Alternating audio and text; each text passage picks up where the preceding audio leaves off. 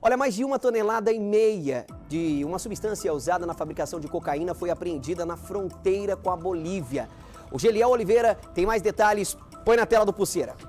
Dia a todos, o posto Esdras, em Corumbá, foi palco na manhã de ontem de uma apreensão de uma tonelada e meia de ácido bórico, componente fundamental para a produção de cocaína.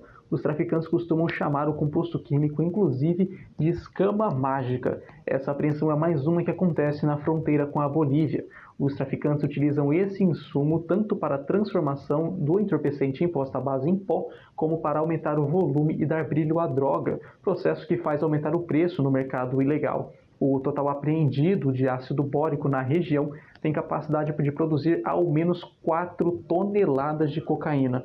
Depois do processo químico realizado, o entorpecente que passa pela reação com esse insumo se transforma em produto pronto para venda ilegal. A atuação contra esses insumos químicos transitando na região de fronteira tem sido intensificada pelas autoridades policiais desde o ano passado, por conta do período de festas e com a chegada do carnaval, as ações específicas acabam sendo realizadas para combater esse tráfico transnacional de drogas.